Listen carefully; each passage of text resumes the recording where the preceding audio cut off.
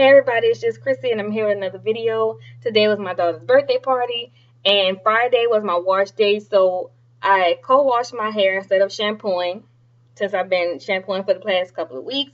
I co-washed it and then I deep conditioned it with a conditioner by Herbal Essence, Hello Hydration, and that was my first time using it. I got a little sample of it in the travel size, and it's actually very, very good. I will do a review on it in a separate video. I just wanted to show y'all how my hair looks today from just basically blow drying, flat ironing my hair.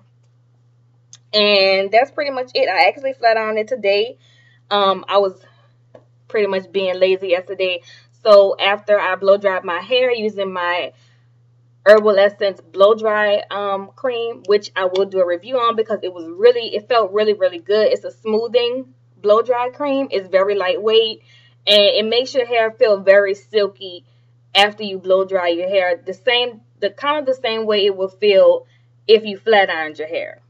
But I did that separately. So if people who don't want to flat iron, who just want to use minimal heat, I would suggest this product if you're going to be blow drying your hair only. It does help maintain a lot of that frizz that you get right after you do a fresh blow dry and it does have a heat protector in it and it's a really good product i will do a separate video on that as well. So anyway i did that. I rolled my hair on perm rods and then got up this morning did what i had to do. It got kind of frizzy during the day after i moisturized and sealed that night. It got kind of frizzy. So what i did was basically just pass the flat iron through my hair not really too too much just i kind of hit it like one or two passes just to keep it smooth and I did put an extra heat protectant on just to be safe.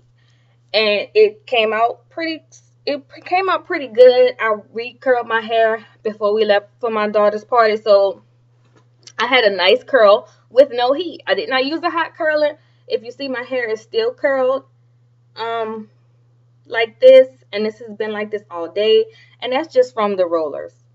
Okay, I did not hot curl it and then go ahead and, you know, like pin curl and stuff like that, I just flat ironed it a little bit, put it on those rollers, and left it in my hair for a few hours. My hair was moisturized because I moisturized and sealed. I used my coconut oil and my olive oil moisturizer.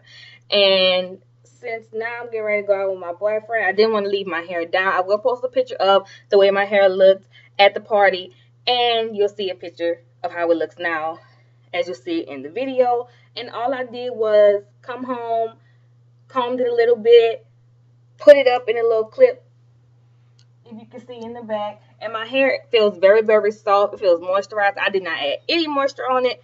It's still shiny as it was all day. My scalp was a little bit irritated.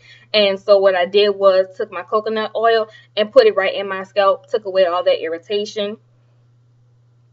And I love how it feels. I love how it looks without having to put anything on it. I've been at the party all day. We were playing. We were outside. The wind was blowing. All that jazz. My hair did not dry out. It didn't frizz up and go all over the place. It remained sleek with a lot of body and bounce from the curls. So, with that being said, I'm going to end this video. I just want y'all to see how my hair looked and how well it is maintaining the curl. And it feels very, very, very soft. I didn't even put anything on my edges when I got home. I did something this morning I put a little bit of my moisturizer on it. And that was it. I didn't put any more moisturizer on it at all. That's in the video. It's just and I'll see y'all next time.